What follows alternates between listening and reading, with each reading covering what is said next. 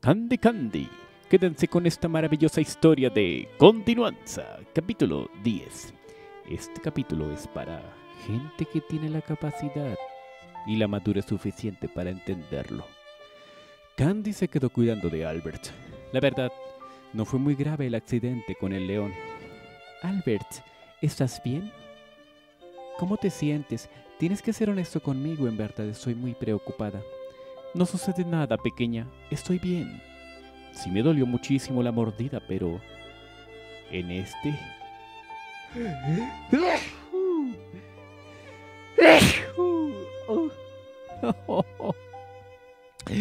Ay, pequeña.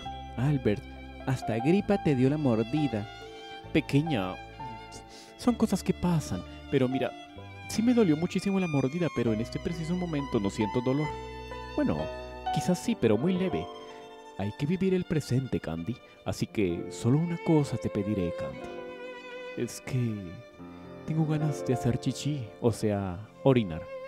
¿Podrías llevarme al baño? No, Albert. ¿Cómo se te ocurre moverte si la herida nunca sanará? Voy a traerte algo y orinas aquí mismo. No te espantes, Albert. Pero, pero pequeña. No hay problema, Albert. Eso hacen algunas enfermeras cuando tienen pacientes que no se pueden ni mover. Pero, Candy, ¿te das cuenta de que me verás? Lo sé, Albert, pero también lo considero bien para practicar. La verdad, nunca me ha tocado una tarea como esas.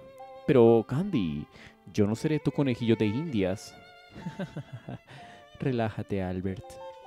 Tengo madurez para entender y saber lo que hacemos. Mm, pues si lo pones así, pues está bien, pequeña. Está bien, voy a confiar en ti. Pienso que después de esto no podría volver a verte después del suceso con los mismos ojos. Me daría mucha vergüenza. Como te digo, no te preocupes, Albert. Mira, Albert. Orina aquí.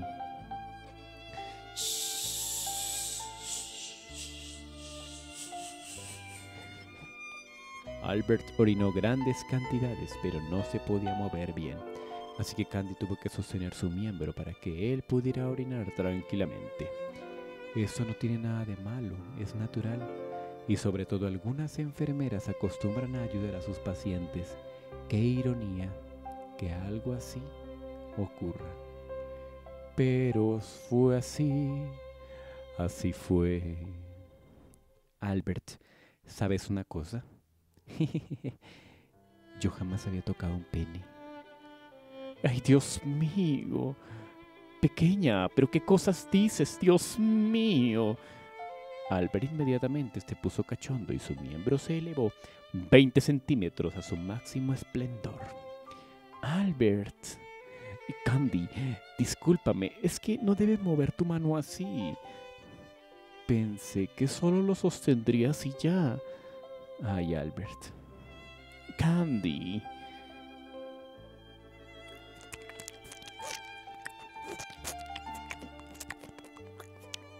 Candy, no lo muevas, no muevas tu mano, por favor. Ya casi termino de orinar. ¿Por qué, Albert? Es que...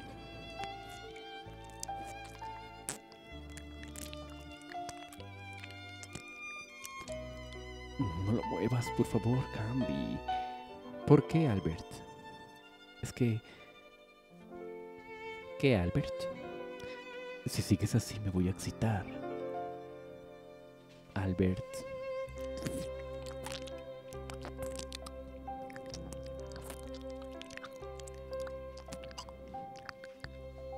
¿Puedo corosear? Es que nunca había tocado un pene. ¿Puedo? Pero pequeña. Candy, ¿en qué posición me dejas? Obviamente me fascina la idea, pero... ¿Pero? Está bien, pequeña. Adelante. Pensé que tenías mucho conocimiento sobre el cuerpo humano y esas cosas, Candy. Y así es, Albert. Pero... Solo teoría, yo solo sé teoría. He leído muchos libros, pero nunca... En serio, nunca había sentido la textura ni la forma. Me parece curiosa. ¿Sabes qué me dijo una novia hace un tiempo? Espacio, Candy, espacio. ¿Qué te dijo, Albert? ¿Puedo bajar el cuero? Eh, Bueno, adelante, bájalo. Ella me dijo que lo mío se parecía a una dulce comilola con relleno líquido. Ay, Albert, qué cosas dices. Así es, pequeña. Eso, eso fue lo que me dijo. Dijo, ay. Y cuando terminó me dijo, ay. Todo el centro líquido se salió. Imagínate. Qué cosas, ¿no? Pero ya, Candy, no sigas, por favor. Es que si sigues así será inevitable que yo tenga un orgasmo. ¿Y si sigo qué, Albert? Mm, pues, Candy, no sigas, por favor.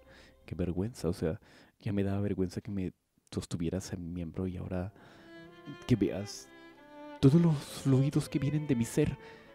Está bien, Albert. Me dejé llevar por la curiosidad. Eh, ¿Sabes una cosa, Candy? Si alguien supiera lo que has hecho, pensarían de ti lo peor de manera inmediata. A mí la verdad eso no me importa. Pero creo que también tengo derecho a experimentar como dices tú. ¿No es así? Pues sí, Candy, solo no vayas a denigrar tu imagen. No lo hago, Albert. Solo tengo la madurez suficiente, como dices tú. Albert y Candy se quedaron dialogando, pero ella masajeando su pequeño amiguito. Estaba curiosa, pero la misma curiosidad mm, hacía que ella subiera y bajara a su amiguito. El cuero. Ahora, estas cosas son normales en el hombre y la mujer. Las relaciones de pareja pueden llegar a ser complejas. Los sentimientos de... son un mar de emociones y dudas, conflictos constantes de la mente racional, mil ideas de procesar y un mismo estímulo que atender.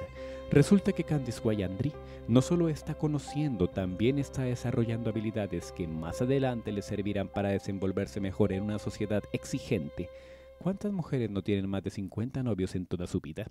El promedio de una mujer es de 5 a 6 novios en toda su vida, otras llegan a tener 15 o 23, pero otras coleccionan los hombres como si de premios se tratara. Pero bueno, el hombre como criatura es sensible, bueno, generoso, respetuoso, pero también hay bandidos, vándalos, pillos revoltosos y traviesos, que tienen más de una dama en su vida. Así que no tiene nada de malo que Candy solo esté descubriendo. Y cómo han transcurrido las cosas, un poco aberrantes, un poco inentendibles, pero es la realidad misma que afronta Candice Wayandry. ¿O cómo podrías tú asumir todos los sucesos vividos actualmente? Llega Candy, se besa con Anthony, luego con Terry, y le agarra el pajarito a Albert. No por eso tenemos que ponerla de la peor manera a nuestra Candice White. Ay, ay, Candy.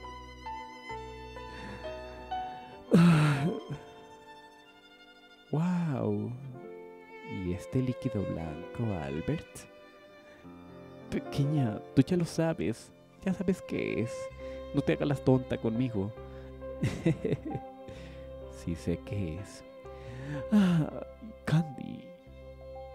Para.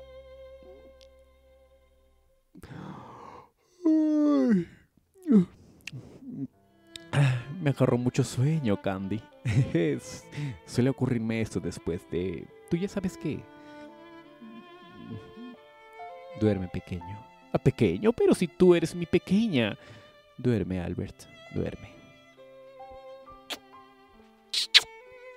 Candy le dio un beso en la mejilla. Otro en la frente y al final. Uno en la boca y se marchó. Nos veremos después. Duerme. Ay, Candy. Mm, bueno, yo siendo tu consejero y resulta que mira lo que terminamos haciendo. Bueno, para mí esto es desahogo, esto es liberación, esto es dulzura y paz. Al salir, Candy limpió sus manos con agua de una fuente y sin más bebió un poco del agua fresca. De la fuente, obviamente. Saludó a todo el mundo y la mayoría preguntaba por Albert. ¿Cómo se encuentra Albert? Bien, él se quedó dormido recuperándose de las heridas. Salió del zoológico y rápidamente volvió a infiltrarse en el colegio rápidamente. Llegó hasta su habitación y continuó con las tareas pertinentes. Ay, Dios mío, tengo que ponerme las pilas porque pues tantos exámenes rigurosos y de pronto pues la verdad, la verdad, yo no quiero ser así como tan tontica como, como Archibald Corwell. Pues él siempre ha perdido materias y todo, pero yo no, no quiero ser así. Candice Wayandri se puso a estudiar juiciosa en su habitación. Dios mío. Y después, ella va a ser una cosa increíble que jamás han visto en algún fanfic. Dios mío. Pero para saber, por favor, denle apoyo a este capítulo y comenten en la caja. Nos vemos en el siguiente episodio de Continuanza. El descubrimiento de su cuerpo de Candice White Andrew.